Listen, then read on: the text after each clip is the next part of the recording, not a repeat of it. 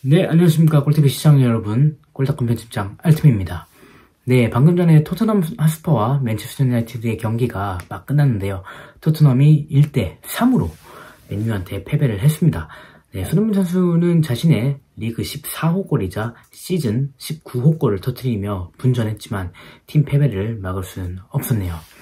네, 전반 40분에 손흥민 선수가 케인 모우라에 이어지는 어, 패스를 연결받아서 왼발로 침착하게 득점에 성공을 했지만 후반 12분에 프레드가 동점골을 터뜨렸고 후반 35분이었죠. 네, 그린우드의 크로스를 받은 까바니 선수가 헤더 그리고 후반 추가 시간에 그린우드 선수가 네, 추가골을 터뜨리면서 3대1로 맨유의 승리로 마무리가 됐습니다. 네, 이로써 맨유는 승점 63점으로 2위를 유지를 했고요. 한 경기 더 치른 맨시티의 이제 승점 11점 차로 추격을 하게 됐고요. 토트넘은 승점 49점에 머무르면서 네, 순위 또한 7위에 머무르게 됐습니다.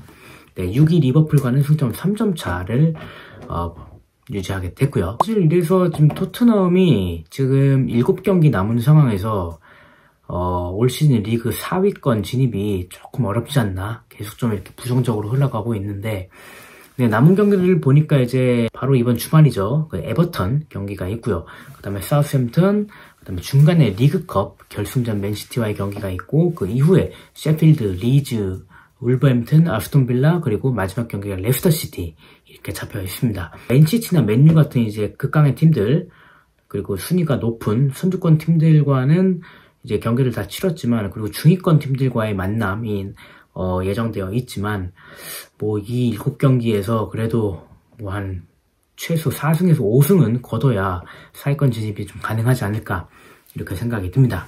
네, 오늘 경기에서 나왔던 여러 가지 좀 기록들이 있는데요. 살펴보겠습니다.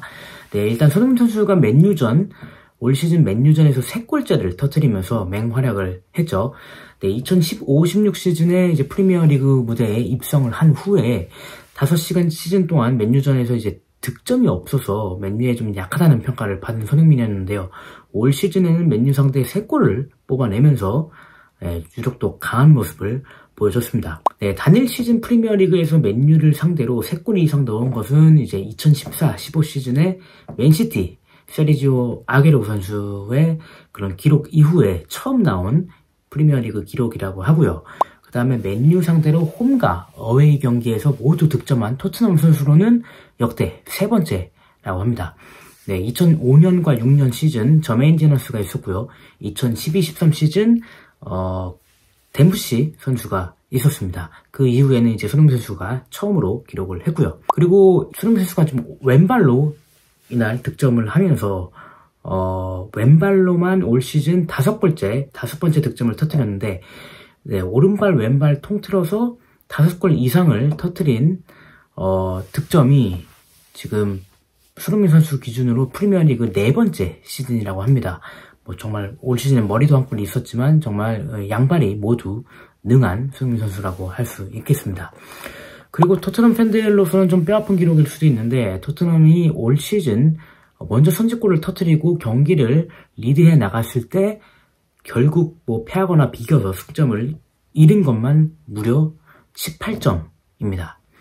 네, 반면에 이제 맨유는 먼저 골을 내주고 이제 루징 포지션에 있는 경기를 경기에서 따낸 승점만 무려 28점이라고 해요.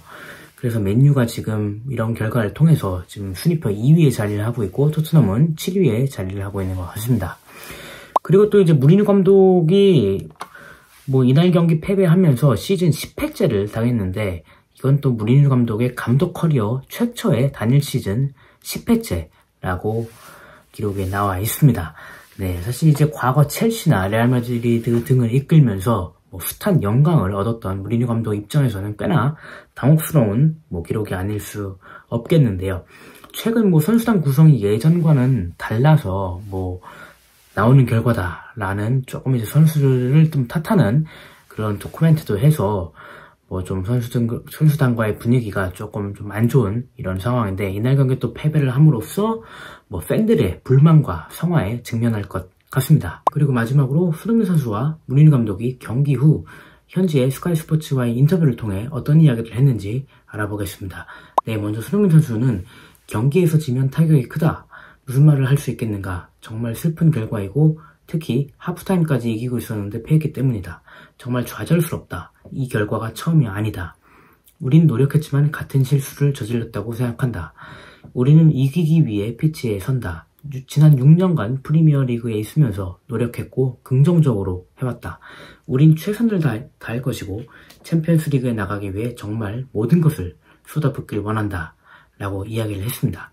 뭐 제가 좀 전에 말씀을 드렸지만 어, 토트넘이 올 시즌에 이제 이기고 있는 상황에서 뭐 승점을 잃었, 잃은 게 많죠. 네, 18점이라고 말씀드렸는데, 네, 역전패를 당하거나 마지막 뭐 10분을 못 참고 어, 동점골을 허용하는 경우가 굉장히 많았기 때문에 그런 부분에 있어서 손흥민 선수도 굉장한 좀 허탈감을 느끼는 걸 알 수 있습니다.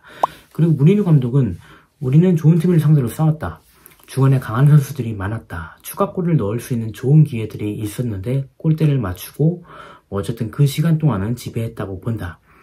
내 의견은 좋은 경기였다는 것이다. 하지만 우리가 이런 결과를 얻을 만하다고는 보지 않는다. 운이 없었다. 아마 폴 포그바가 오리에에게 팔꿈치 공격을 한 것은 퇴장을 받았어야 한다고 생각한다. VAR, VAR에 대해서 더 이상 모르겠다. 플럼과 울프스의 경기도 봤는데 더 이상 이해할 수가 없다. 어떤 때는 뭐 파울을 주고 어떤 때는 주지 않는다.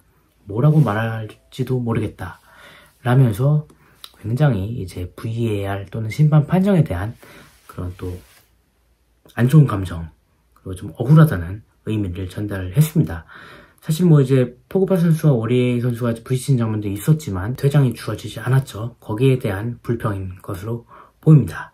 네, 어쨌든 오늘 토트넘 하스퍼는 어, 맨유와의 홈 경기에서 승리하지 못하면서 뭐 사회권 진입이 조금 더 어려워지는 결과를 받아들였고요.